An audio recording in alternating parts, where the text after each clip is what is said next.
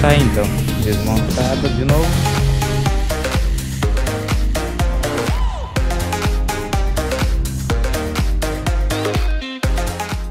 E aí foi o camping. Bom onde eu dormi, passou pouco caminhão durante a madrugada de dia, mas agora é desmontar, ir ali para a beira da estrada, esperar alguém chegar. Tem bastante aquelas caminhonetes aqui que dão apoio aqui para linha de petróleo. O jeito talvez é pedir para eles, ah, o cara vai andar 20 km, põe na caminhonete, leva 20 km, desce, pega outra e vai indo para frente, vai indo para frente, porque alguém direto daqui até Fairbanks, acho que vai ser meio difícil. Mas tem bastante trânsito de caminhonete. Só que as caminhonetes não pararam nenhuma vez para tentar ver se eu precisava de ajuda nos outros pneus furados. Caminhão é possível, só que dessa altura aqui para levantar a moto em dois é quase impossível. Bom, é impossível. Sei lá, vamos ver o que vai dar.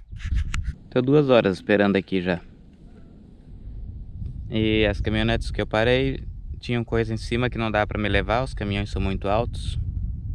Aí eu tava pensando uma coisa aqui. Eu tô a 36 milhas de Dead Horse. Isso dá uns 50 e alguns quilômetros. Eu posso tentar voltar lá e esse pneu aqui é para uso sem câmara. Ele ainda tem borracha para chegar até Fairbanks e até mais longe aí. Ele não teve nenhum furo. Os problemas que tiveram parece que eram da câmara. E se tiver um furo, eu ainda posso arrumar ele lá.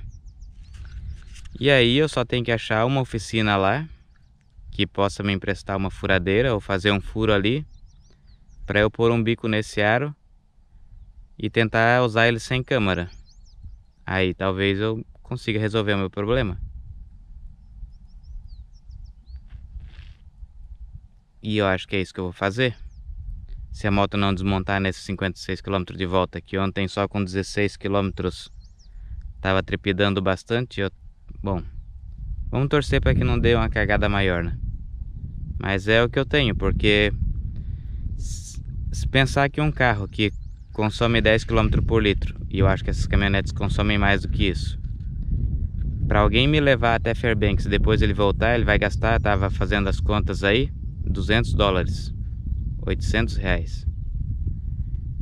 É, é muito caro. Teria que ser alguém que está indo para lá já, aí ajudar com a gasolina aí.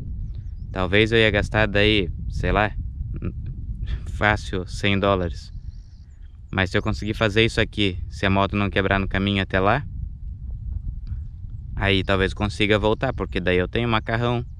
Eu posso comprar mais uns remendos ali para remendar por dentro, caso o furo seja muito grande, que precise de um remendo por dentro. É isso que eu vou fazer. Vamos sofrer mais um pouquinho então lá para para Prudhoe Bay agora com o pneu vazio. Esses aqui já são bisões diferentes daqueles que tem lá no Canadá, ó. Parecem aqueles da Era do Gelo, olha como são rebaixados. Cheio de pelo. Também para viver aqui no inverno, né? Bonitos esses aí. Mais bonito que os outros. Quem tá na TV certamente tá vendo legal aí. Quem não tá, se quiser ver legal, acha uma Smart aí e assiste lá. Então eu estou aqui de novo Vim aqui, comprei mais uns remendos, já que tá barato. Comprei o bico, eu tinha um, mas era de borracha e esse aqui é melhor. Aí o bico era 3 dólares e pouco, isso aqui era 2 dólares e pouco. Eu dei uma nota de 20 dólares pro cara, ele me devolveu 17 mais umas moedas, ele tava cobrando só isso aqui. Tentei de toda maneira explicar pra ele que ele tava me dando o troco errado. Mostrei, perguntei quanto que é isso, quanto que é isso. Ah, tá, ia dar quase 6 dólares. Eu falei, ó, te dei 20, olha só quanto tem aqui. Não, isso ok, isso ok. Mas me faltou palavra para ser um pouco mais honesto. Bom, tentei várias vezes, ele não quis.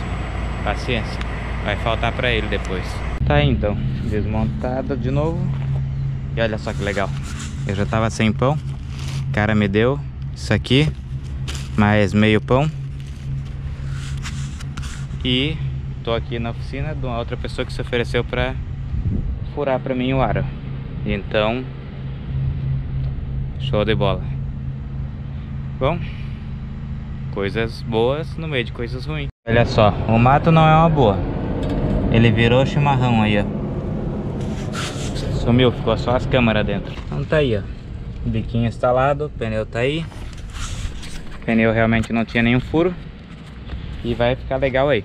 Aí contar pra vocês como é que foi a história aí da, do pão e do creme de amendoim. E dessa pessoa que resolveu me ajudar aqui. Fazer o furo e instalar o bico ali. Fui lá comprar aquelas pecinhas que vocês viram lá que o cara não quis que eu desse o dinheiro que ele merecia pra ele. Aí, essa pessoa desse carro aqui, tava lá do lado. Aí eu perguntei onde é que tinha um lugar que eu podia achar uma oficina, alguma coisa para fazer o furo ali. Aí ele se ofereceu para vir aqui fazer na, na oficina que ele trabalha. Saindo do, da oficina lá, da loja, fui ver se tinha pão na loja de cima e não tinha. Tinha uma pessoa do lado que ouviu perguntando se tinha pão, perguntando, ela falou que não, perguntei se tinha outro lugar para com pão aí. Aí ela falou que talvez uma outra loja lá, coisa e tal. Aí enquanto eu tava me arrumando lá na moto, essa pessoa, que é um policial daqui, apareceu lá com meio pão de forma e uma, um creme de amendoim. Até parece que ele tá adivinhando que eu gosto disso, né? E salvou meu dia, porque eu só tenho mais três latinhas ali de, de comida, o que teoricamente dá para um dia e meio. E eu tenho pelo menos mais dois para voltar agora até Fairbanks. Então eu já ia racionar uma latinha por dia aí até chegar lá. Ou sei lá, com o pneu furado acho que não ia chegar e ia morrer de fome. Mas tá, deu tudo certo, isso que importa. Agora são 5 e meia da tarde. Bom, 3 e meia, né? Meu relógio tá aqui duas horas adiantado. Então até às 6 dá pra rodar bastante. E depois que escurecer. Ah, não vai escurecer, então eu vou rodar até a meia-noite mais ou menos. Das 3 às 24, dá pra rodar, dá pra chegar em Cold Foot hoje. Vamos ver se eu consigo, se o pneu permite. Que o da frente até hoje nunca furou. 19.500 km. Traseiro tem bastante borracha, daqui pra lá até Cold Foot é tudo estrada de chão.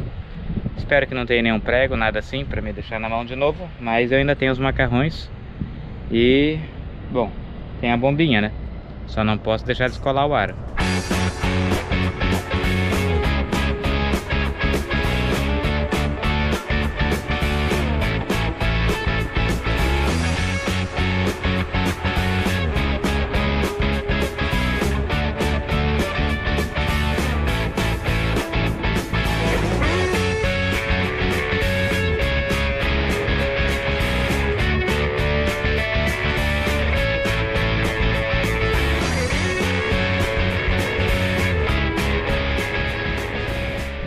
Aqui um pão bom.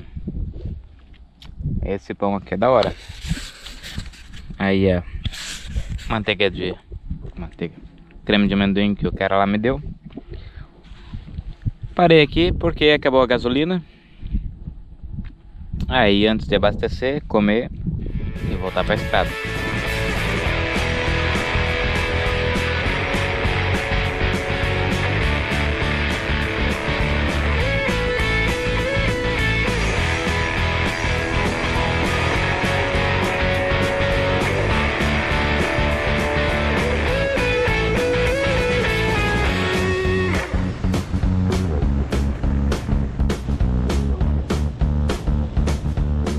Olha só o tamanho.